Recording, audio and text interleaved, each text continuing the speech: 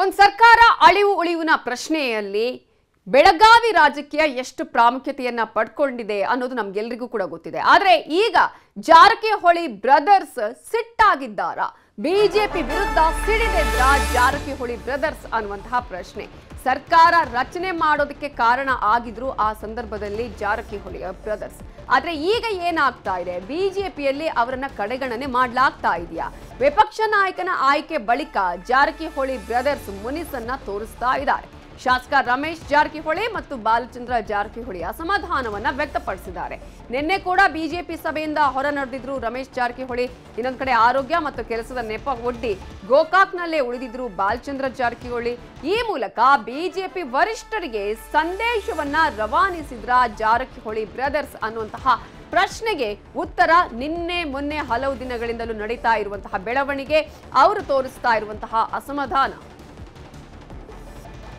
ಇದರ ಬಗ್ಗೆ ಇನ್ನಷ್ಟು ಡೀಟೇಲ್ಸ್ ಕೊಡೋದಕ್ಕೆ ನಮ್ಮ ರಿಪೋರ್ಟರ್ ಕೃಷ್ಣ ನೇರ ಸಂಪರ್ಕದಲ್ಲಿ ಜಾಯ್ನ್ ಆಗಿದ್ದಾರೆ. ಕೃಷ್ಣ ಈಗಾಗಲೇ ಒಂದ್ ಕಡೆ ಬೆಳಗಾವಿ ರಾಜಕೀಯ ಸರ್ಕಾರ ಉಳಿಸೋದ್ರಲ್ಲಿ, ಸರ್ಕಾರವನ್ನ ಅಳಿಸೋದ್ರಲ್ಲಿ ಏನೆಲ್ಲ ಪ್ರಾಮುಖ್ಯತೆಯನ್ನ ಪಡ್ಕೊಂಡಿದೆ, ಏನೇನು ಆಗಿದೆ ಅನ್ನೋದನ್ನ ನಾವು ನೋಡಿದೀವಿ. ಈಗ ಜಾರಕಿಹೊಳಿ ಬ್ರದರ್ಸ್ ಅವರ ಸಿಟ್ಟು ಏನು ಆಗಬಹುದು? ಹೈಕಮಾಂಡ್ಗೆ ಈ ಮೂಲಕ ಸಂದೇಶ ರವಾನಿಸಿದ್ದಾರೆ. ಹೈಕಮಾಂಡ್ ಯಾವ ರೀತಿಯ ನಿರ್ಧಾರ ತೆಗೆದುಕೊಳ್ಳುವಂತಹ ಸಾಧ್ಯತೆ ಇದೆ, ಇದೆಯಾ ಹೇಗೆ? ನವಿತಾ, ರಾಜ್ಯ ಬಿಜೆಪಿಗೆ ಬೆಳಗಾವಿಯ ಬಿಜೆಪಿಯ ಬಣ ರಾಜಕಾರಣನೆ ಅತೃಪ್ತ ಅಸಮಾಧಾನ ಎಲ್ಲೊಂದ್ ಕಡೆ ಮುಳುವಾಗುವಂತ ಸಾಧ್ಯತೆ ಇದೆ. ಯಾಕಂದ್ರೆ ಈಗಾಗಲೇ ರಮೇಶ್ ಜಾರಕಿಹೊಳಿ ರೆಬಲ್ ಆಗಿದ್ದಾರೆ. ಬಾಲಚಂದ್ರ ಜಾರಕಿಹೊಳಿ ಕೂಡ ಅಸಮಾಧಾನಗೊಂಡಿರುವಂತದ್ದು. ಇಬ್ಬರು ನಾಯಕರು ಕೂಡ ಬಿಜೆಪಿ ರಾಜ್ಯಾಧ್ಯಕ್ಷರ ಪದಕಣ ಪದಗ್ರಹಣ ಕಾರ್ಯಕ್ರಮಕ್ಕೂ ಕೂಡ ಬಂದಿರಲಿಲ್ಲ.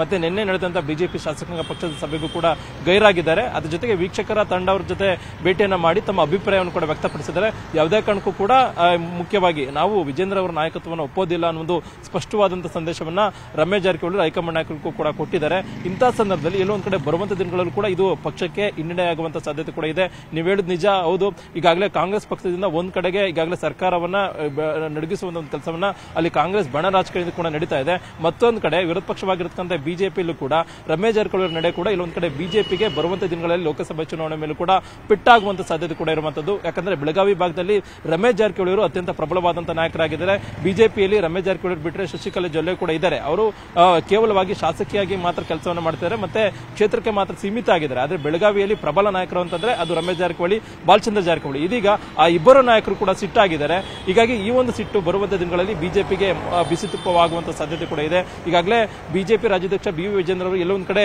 ಡಿಸಿಎಂ ಡಿ ಕೆ ಶಿವಕುಮಾರ್ ಜೊತೆ ಹೊಂದಾಣಿಕೆಯನ್ನು ರಾಜಕಾರಣವನ್ನು ಮಾಡ್ಕೊಂಡಿದ್ದಾರೆ. ಅದು, ಅದನ್ನ ಈಗ ಆ ಒಂದು ವಿಚಾರ ರಮೇಶ್ ಜಾರಕಿಹೊಳಿ ಅವರ ಸಿಟ್ಟಿಗೆ ಕಾರಣವಾಗಿರುವಂತದ್ದು. ಆ ಕಾರಣಕ್ಕೋಸ್ಕರವಾಗಿನೇ ಬಿಜೆಪಿ ರಾಜ್ಯಾಧ್ಯಕ್ಷ ಬಿ ವಿ ವಿಜೇಂದ್ರ ವಿರುದ್ಧವಾಗಿ ಸಮರವನ್ನು ಕೂಡ ಸಾರಿದ್ದಾರೆ. ಮತ್ತೆ ವಿರೋಧ ಪಕ್ಷ ಸ್ಥಾನವನ್ನ ಎಲ್ಲ ಒಂದ್ ಕಡೆ ಉತ್ತರ ಕನ್ನಡ ಭಾಗದ ನಾಯಕರಿಗೆ ಕೊಟ್ಟಿದ್ರೆ ತಮ್ಮ ಹಿಡಿತ ಮತ್ತೆ ತಮ್ಮ ಪಕ್ಷದಲ್ಲಿ ಕೆಲಸ ಕಾರ್ಯಗಳಾಗುತ್ತೆ ಮತ್ತೆ ತಮ್ಮದೇ ಆದಂತಹ ನಾಯಕರು ಕೂಡ ಇರ್ತಾರೆ. ಆ ಮುಖಾಂತರವಾಗಿ ವಿಜೇಂದ್ರ ಅವರಿಗೆ ಒಂದು ರೀತಿ ಕೌಂಟರ್ನ ಕೊಡಬಹುದಾಗಿತ್ತು ಅನ್ನೋದು ಕೂಡ ರಮೇಶ್ ಜಾರಕಿಹೊಳಿ ಲೆಕ್ಕಾಚಾರ ಆಗಿತ್ತು.